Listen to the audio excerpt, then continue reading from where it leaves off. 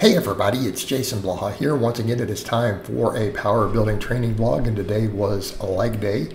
Uh, we started off with back squats, uh, ramped up to a uh, 405 squat today, and kind of just stopped there. It felt it felt heavy enough. On a lot of these, um, as you guys know, for my power building, um, I ramp up to my uh, minimum training max right? On, on the appropriate day, obviously leg day, we squat. And once we hit that, then I determined if I'm going to go up. And today, uh, I felt like, um, yeah, I couldn't really handle much more than that today. So I just did a nice solid deep 405 uh, squat and called it there and then went straight into uh, my hypertrophy work.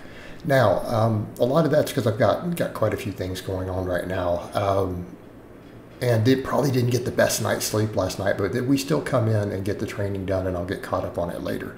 But did you guys see there, like that looked relatively heavy, and could I probably have gone up? Sure, uh, but I decided not to. I decided to just call it there, and we'll see how we do next week. So then we went over, and essentially I just did three exercises, then abs. Uh, so again, belt squats, as you guys notice, my quads have been coming back up now that I'm doing these in a way that actually uh, builds my quads.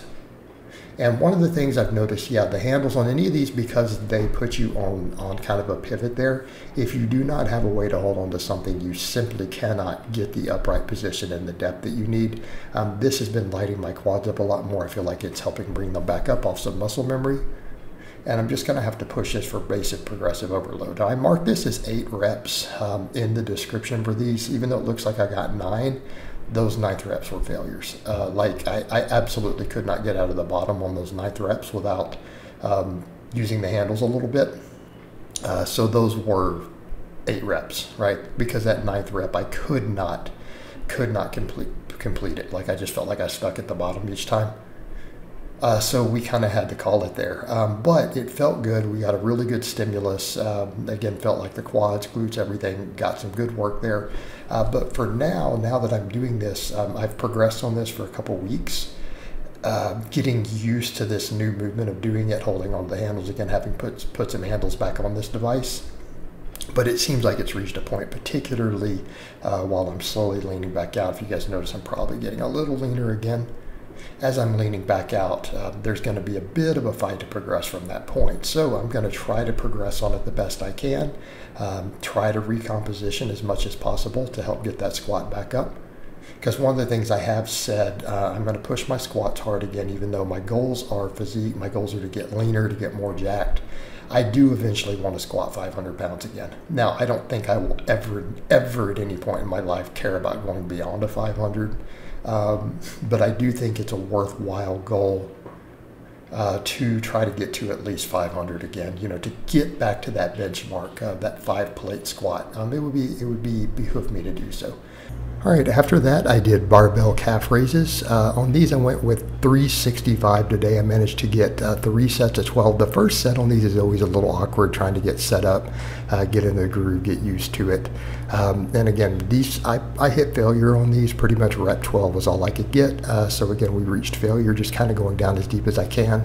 Now, I've had people try to say stuff like, um, well, why don't you try to use a taller plate? Mainly because it literally hurts my feet, even when I try to use shoes and stuff. So on this plate, I get a pretty dang good stretch. Um, obviously, if you guys look, my calves are working pretty hard.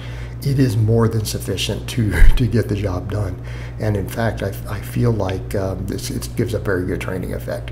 And keep in mind, we're still getting uh, a lengthened position here. So again, it's, it's the case of working with what I have for the equipment of having to make it work. And simply getting up on a taller block is really problematic from a balance perspective, being pain on my feet, because I know I've tried it and I've tried it even wearing shoes and everything.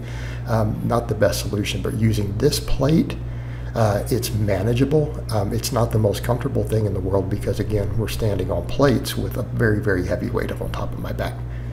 But this is the sort of weights that I have to have uh, for me to get a good good calf stimulus. Because even when I've done, uh, you know, the really tall plates, it, it's I still have to do a, a, ton of weight on there to really get a stimulus because my calves are pretty big and pretty strong.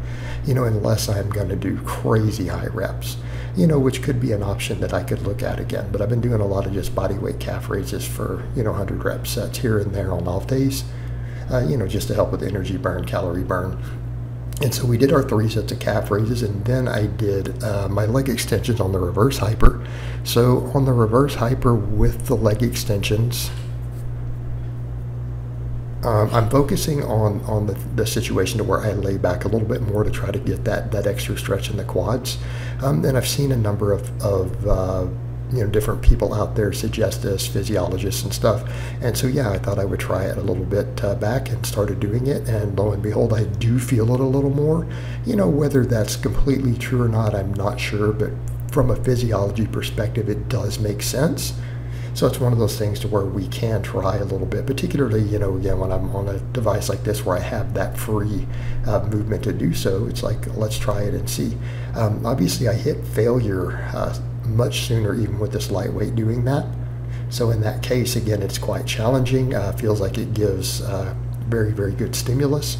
And again, pretty much not much else to say with this vlog other than that. Then I do a set of hanging leg, leg raises. So I'm going to let you guys finish watching the footage. So I hope it's been informative. And I'll talk to you guys and gals next time.